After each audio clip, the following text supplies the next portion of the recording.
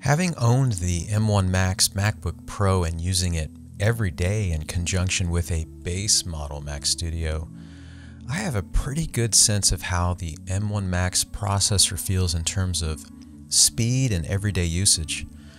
And believe me, I was tempted to buy the M1 Ultra, and I'm so glad I didn't blow $5,000 specking out one of those machines because the M1 Max has been such a solid performer for me on daily creative tasks like using Photoshop, Illustrator, Adobe InDesign.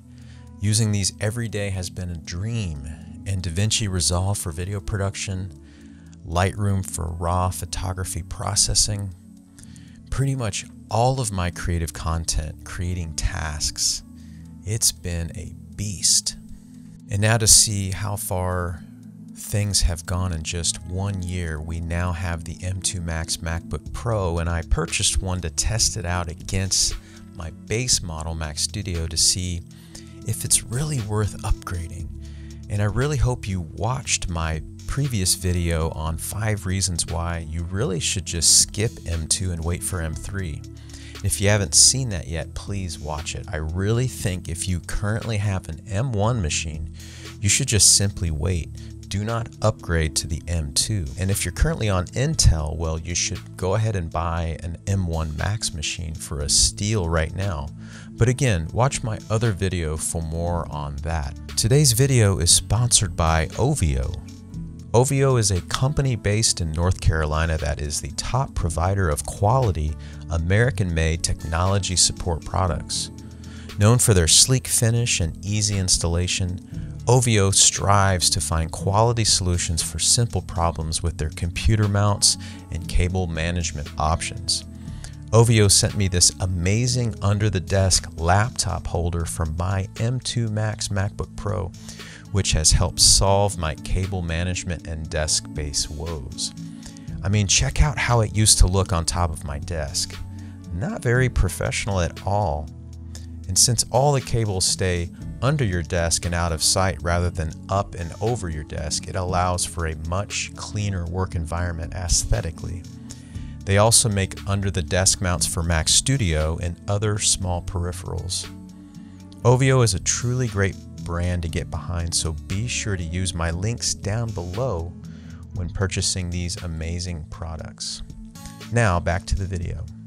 All right, so why don't we go ahead and jump to the tests. We'll be looking into three creative tasks that I normally do in photography and video production. In spec-wise, we're looking at the 16-inch M2 Max MacBook Pro. It has a 12-core CPU, 8 performance cores, 4 efficiency cores, a 38-core GPU, and a 16-core neural engine. And for the base Mac Studio, we're looking at a 10 core CPU, 8 performance cores, 2 efficiency cores, a 24 core GPU, and a 16 core neural engine. They both have the exact same memory bandwidth at 400 gigabits per second. Both also have the same built-in encoders for video. Alright, so for test one, we are going to import and process thumbnails for 1048 megapixel Canon R5 RAW files. So we're going to do that first on the Mac Studio. And it does it, you can see the time there, but I'll bring up a chart here at the end of this little segment. And then we did it on the M2 Max, the exact same RAW files to see how these two machines compare. And this is a really processor heavy, hungry task to have both of these machines chug through 1000 raw images. And you can see the Mac Studio at 5 minutes 15 and the M2 at 1 minute 38. And then the next test, we apply four masks to 286 of these raw images. This is using Lightroom's AI tool to find the face, the eyes, the teeth, the background to apply the same processing to all of these images. This is a really cool tool that I've been using. I use this daily with headshot photography. And I've noticed that the M1 Max, it takes a good amount of time, so I had to take a few breaks there while it was doing that. And then on the M2 Max, I noticed that it was a little bit faster. Not crazy though. I mean, not crazy amount faster. And so I'm speeding this footage up to show you how this works. But this is a really cool test because this takes a lot of time to process this many and apply these masks. It looks at each individual image and smartly figures out where the masks should be and how to apply them. So it's really cool to see how Lightroom, how far Lightroom has come and having an M1 Max or an M2 Max really helps to have this go faster. As you can see here, the results M2 Max at 8 minutes 27, Mac Studio, and then you can see the export of those actual raw files too. The last test is 4K footage. I created a timeline in DaVinci Resolve. This is H.265, 244 footage applying some color grading and noise reduction. Noise reduction really makes a machine chug, especially for H.265 footage. So this is a really good test. Scrubbing through the timeline on the 4K footage and 8K. I added a little bit of 8K in there too.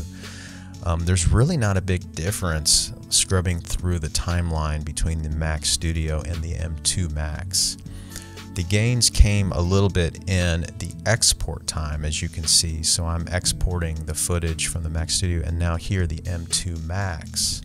And so the difference here is very interesting to me. So shaved off some time on the M2 Max at 3 minutes 16, 4 minutes 41 on the Mac Studio. So there you have it. There are some gains, but they definitely are not earth shattering for daily creative tasks. The speed improvements in most things are imperceptible in daily use.